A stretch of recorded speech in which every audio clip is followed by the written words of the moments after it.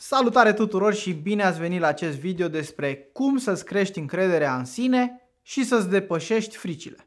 Frica și lipsa de încredere în sine sunt două dintre cele mai mari obstacole care ne împiedică să ne îndeplinim potențialul. Dar nu vă faceți griji, deoarece astăzi vă voi oferi câteva tehnici eficiente care vă vor ajuta să depășiți aceste probleme și să vă atingeți obiectivele. Pasul 1. De ce este importantă încrederea în sine și cum afectează frica potențialul nostru? În primul rând, să discutăm despre importanța încrederii în sine. Când suntem încrezători în abilitățile noastre și ne simțim bine în pielea noastră, suntem mai motivați să încercăm lucruri noi și să ne îndeplinim obiectivele. În schimb, atunci când avem o încredere scăzută în noi, suntem mai puțin predispuși să încercăm lucruri noi și să ne punem la încercare, deoarece considerăm că nu vom reuși. În plus, frica poate fi un obstacol major în calea noastră, frica de eșec, de respingere sau de situațiile noi, poate să ne împiedice să acționăm și să ne dezvoltăm. De aceea, învățarea cum să ne creștem încrederea în sine, să învățăm despre acest lucru și să ne depășim fricile, este un pas foarte important pentru a ne atinge obiectivele și pentru a avea o viață mai împlinită. Pasul 2 tehnici pentru a-ți crește încrederea în sine și a-ți depăși fricile. Primul pas pentru a depăși frica este să o identifici și să înțelegi de unde vine, nu să fugi de ea. Conștientizarea fricii poate ajuta la reducerea impactului acesteia asupra noastră. Învață să-ți accepti greșelile. Nimeni nu este perfect, iar greșelile sunt o parte normală a vieții. Învață să vezi greșelile ca o oportunitate de învățare și dezvoltare. Exersează afirmări pozitive. Afirmările pozitive sunt fraze pe care ni le spunem pentru a ne crește încrederea în sine și pentru a ne motiva. De exemplu, spuneți-vă, sunt capabil să fac asta sau am încredere în abilitățile mele.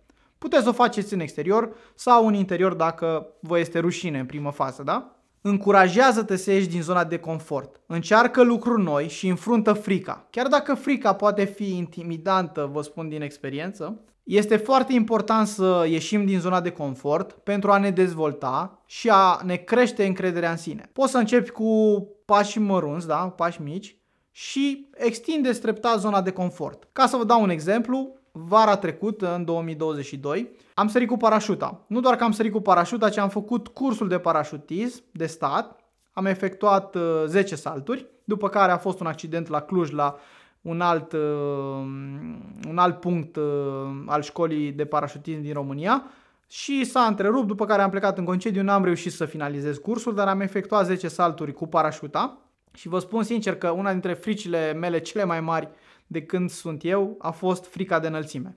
Foarte intimidant a fost când, la primul salt în special, când eram în avion, erau cu mine în avion cinci băieți, unul începător cu mine în spate, eram ultimii și în fața mea erau încă, încă, încă trei băieți. Deși aceștia aveau 100 de salturi, 60 de salturi, 170 de salturi, dacă nu mă înșel, avea cel mai experimentat de acolo din avion, uh, din grupul în care am făcut parte erau destul de, destul de traumatizați și ei, vă spun sincer, pentru că a fost o pauză foarte lungă, ei nu au mai efectuat niciun salt uh, în anul respectiv, în 2022, ultimul salt l-au făcut în 2021 și i-am văzut destul de crispați.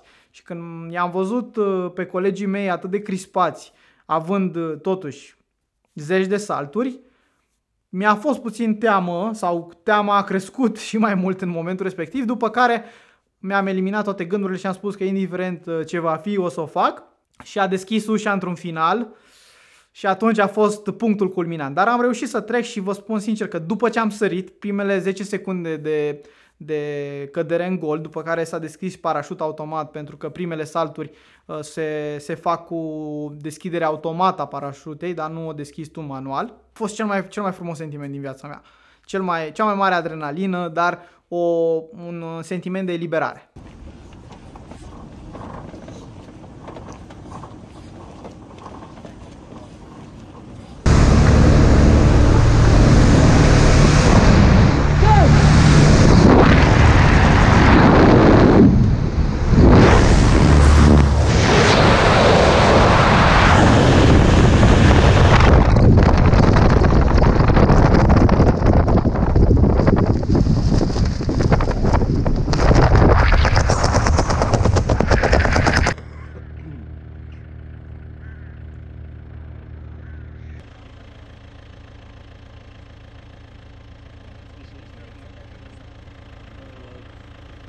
eliberare. ăsta să mai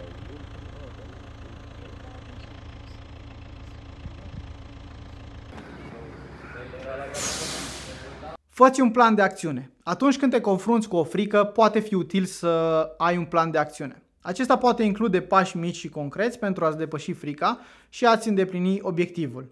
Învață să-ți relaxezi mintea și corpul. Sunt tehnici de relaxare cum ar fi meditația, yoga sau pur și simplu o respirație profundă, da? Aceste lucruri pot ajuta la reducerea anxietății și stresului și la creșterea încrederii în sine. Caută sprijin și inspirație. Uneori, să vorbești cu un prieten sau cu partenerul de viață sau, de ce nu, un terapeut, te poate ajuta să îți depășești fricile și îți uh, cresc încrederea în tine. De asemenea, citirea cărților de autodezvoltare și a biografiilor celor care poate au făcut deja ceea ce îți dorești tu să faci, care și-au depășit fricile și au atins succesul, îți poate oferi inspirație și motivație. În concluzie, încrederea în sine și depășirea fricilor nu sunt procese ușoare și pot fi dificil de realizat, dar nu vă lăsați descurajați. Cu toate acestea, utilizarea acestor tehnici și practicarea lor constantă, cu siguranță poate ajuta la creșterea încrederii în sine și la depășirea fricilor. Nu uitați că fiecare pas mic pe care îl faceți poate aduce o mare schimbare în viața voastră și să vă îndreptați spre atingerea obiectivelor. Sper că acest video ți-a fost de ajutor și îți doresc mult succes în călătoria ta spre o viață plină de încredere și fără frici. Eu îți mulțumesc pentru vizionare și nu uita să vă abonați la canalul meu pentru mai multe videoclipuri motivante și informative. Eu îți mulțumesc încă o dată că m-ai urmărit. Nu uita de like și abonare la canal și ne vedem în clipul următor. Pa!